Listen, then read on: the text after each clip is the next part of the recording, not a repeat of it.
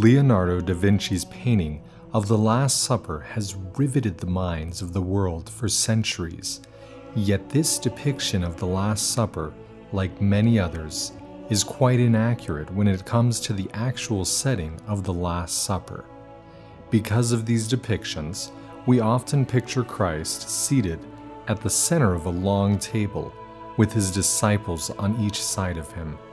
However, according to ancient Roman and Jewish culture and several verses found in the Gospels, we find a much different setting.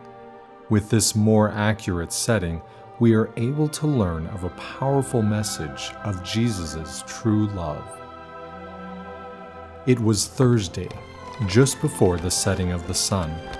Jesus and the apostles had gathered in a large upper room on Mount Zion in the upper city of Jerusalem. The home would have been a wealthy home, as it had an upper chamber, and all of the preparations for the Passover feast would have already been made. The most prominent feature of the room would have been a low table in the shape of a U called a triclinium.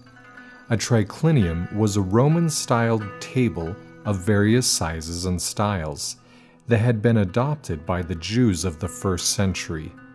The table had three large couches, or cushions, placed on each of the three sides, allowing the middle to be open for entertainment and servers. The guests would lay on their left side facing the inside, leaving their right hand free to eat of the meal. This would mean that each guest could lean on the bosom of the person to their left. Their legs would be towards the outside, allowing a servant to wash their feet as they ate the feast, similar to when Jesus' feet were washed by the penitent woman in Luke chapter 7. The host of the feast would not sit in the middle, as is often depicted in artwork of the Last Supper, but instead second to the left, with the guest of honor on his left and a trusted friend to his right. The seating then continued around the triclinium, the most important guest seated on the left wing, then going around the table with the least important sitting on the far right. The servant, if seated at the table, would occupy the last position, closest to the door, so they could go and obtain more food as the evening progressed. If this seating arrangement was followed by Jesus, and from the scriptures it seems to be the case, Jesus then was seated not in the center, but second from the left. John 13:23 indicates that John the Beloved was seated to Jesus' right as John had to lean on the bosom of Christ to ask of the identity of the betrayer. Matthew 26:23 indicates that Judas was seated to the left of Christ in the seat of honor, as both Jesus and Judas were able to eat from the same bowl. John 13:24 indicates that Peter was across from John on the right side as he had to signal to John to ask Jesus who would betray him. This would mean that Jesus had placed the youngest apostle John on the side of eminence, while placing Peter, the chief apostle, in the seat of the servant. This would make sense, for according to Luke 22, there was strife among the disciples as to whom was the greatest. Always the teacher, Jesus said unto them, but he that is greatest among you, let him be as the younger, and he that is chief as he that doth serve. For whether is greater, he that sitteth at meat, or he that serveth? Is not he that sitteth at meat? But I am among you as he that serveth.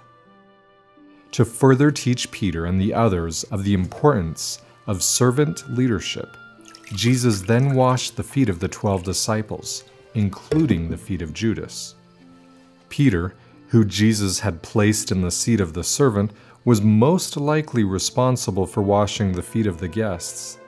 Yet Jesus, the host and the greatest of them all, now acted as servant and washed their feet. This would explain the protest of Peter in John 13 when Peter says, Lord, Dost thou wash my feet? Thou shalt never wash my feet. Then Jesus teaches Simon Peter, If I, then, your Lord and Master, have washed your feet, ye also ought to wash one another's feet. The servant is not greater than the Lord, neither he that is sent greater than he that sent him. This seating arrangement would also mean that Jesus placed Judas, who would betray him, in the seat of honor. It seems that to the very end, Jesus loved Judas and desired to teach him of his love by placing him in this most important seat. It was as if Jesus was trying to give Judas one less reason to betray him. Jesus, at some point, gives Judas a sop, a piece of bread dipped in broth, yet another sign of honor.